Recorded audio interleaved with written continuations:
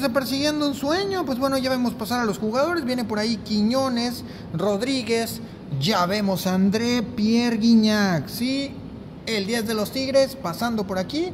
Y bueno, llevaremos toda la pretemporada de los Tigres o lo que podamos, que estarán dando del 5 al 11 de enero acá en, en el Valle Texas, precisamente en Edinburgh.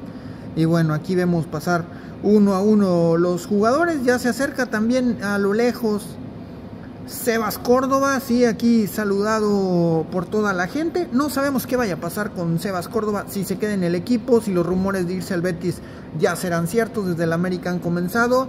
Y bueno, aquí viene la joyita Marcelo Flores, también viene Aquino Purata. Y bueno, uno a uno irán pasando los jugadores de los Tigres, como lo comentamos, haciendo pretemporada aquí en Edinburgh, Texas.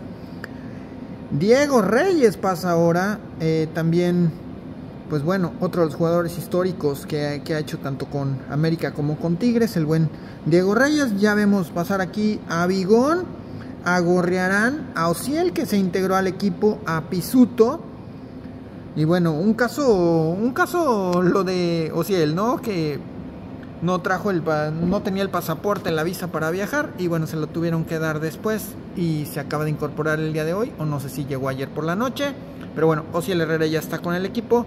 Y vemos un histórico como Guido Pizarro, también viene Laines, uno de los más acechados, el buen Nahuel Guzmán y bueno, atrás también viene Bruneta, esta nueva incorporación para los Tigres que qué les digo, la va a romper, en Santos lo hacía muy bien, en Tigres no, no tenemos la la menor objeción de que lo va a hacer. También viene Carioca. Y bueno, ya cerrando aquí se aparece el buen Nico Ibáñez.